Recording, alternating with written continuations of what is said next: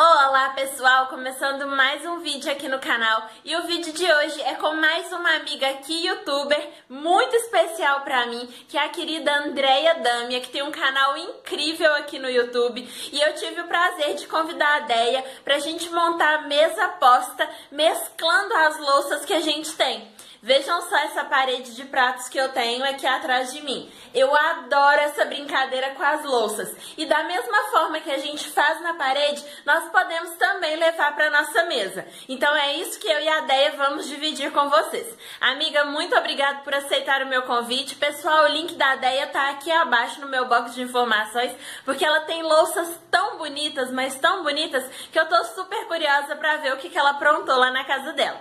Se você tá chegando agora no canal, canal, já se inscreve aqui abaixo. Por que, que ainda não se inscreveu, tá sempre aqui acompanhando meus vídeos? Dá essa chance e já se inscreve aqui abaixo. E se você tá sempre aqui comigo, já deixa o like no vídeo pra não esquecer no final, porque o YouTube não está entregando as minhas notificações. Então já ativa esse sininho aqui abaixo que é certeza do vídeo chegar pra você. Então bora lá comigo que eu montei algumas mesas e eu quero ver o que, que vocês acharam. Deixa aqui nos comentários pra mim.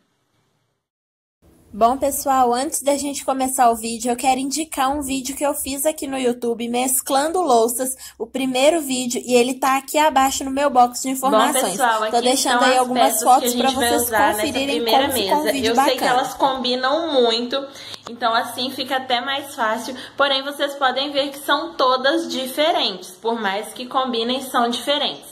Os pratos parecem muito da mesma coleção, mas não são, são coleções diferentes e eu comprei mesmo no intuito de mesclar.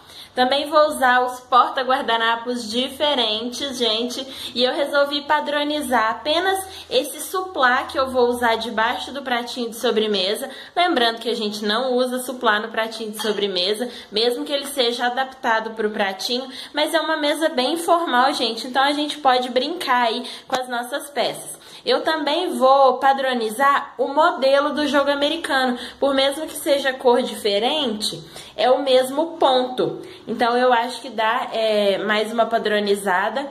Vou usar esses arranjinhos aqui, ó que eram saleiros, eu tirei as tampinhas, eu queria vasos pequenos, então eu tive essa ideia. Aí coloquei um verdinho natural aqui na mesa. Vou usar essas duas taças e é transparente, gente, combina com tudo. Eu super indico. E ela até combina, gente, com o meu vasinho agora que eu notei. Então as xícaras eu também mesclei. Troquei, né, a verde com a transparente e eu acho que vai ficar legal. Também padronizei os guardanapos para dar um visual mais é, arrumadinho, né?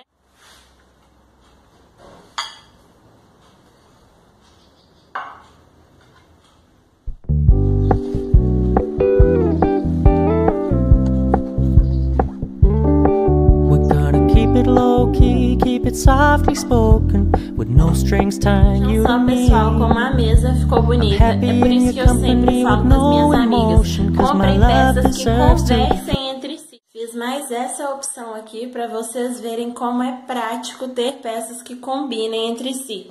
Olha quanta estampa e não ficou carregado, gente. achei até muito delicado. Gostei muito desses pires que são azuis, mas são transparentes ao mesmo tempo. Então eles combinam com a xícara transparente, com os vasinhos que eu estou usando. Eu porque não tenho pratinhos de sobremesa transparentes, senão eu também usaria. Então eu gostei bastante do resultado. Fica mais uma dica para vocês.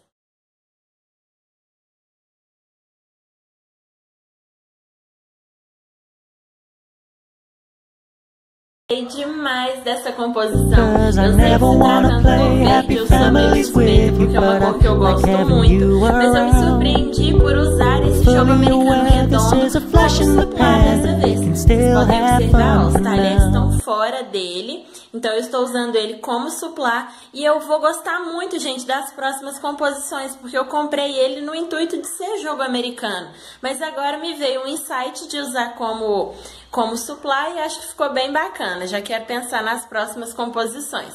O que, vocês acharam dessa ideia? Troquei os pratos, as taças, padronizei os talheres, também troquei a cor dos jogos americanos que estão embaixo e padronizei os porta-guardanapos.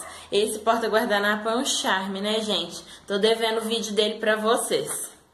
E eu fiz aqui, gente, uma última ideia bem fora da minha zona de conforto, apesar de ter o verde. O vermelho não é a minha cor, mas eu gostei muito, gente. É incrível as possibilidades que a gente tem usando as peças. Olha só, dessa vez eu mesclei os jogos americanos, as taças, troquei o lado dos guardanapos e já dá um charme, olha só.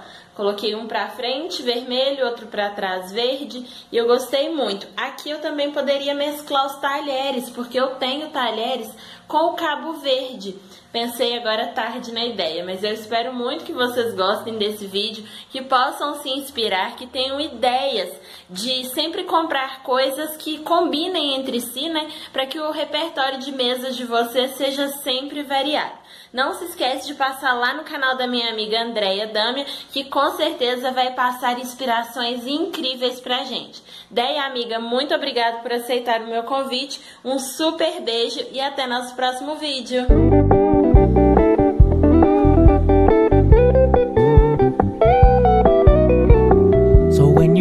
paying so much attention And when you're moving in another direction Don't worry, I get it I meant what I said when I said it, lady. I never wanna look at a house in the garden. I never wanna lock you down.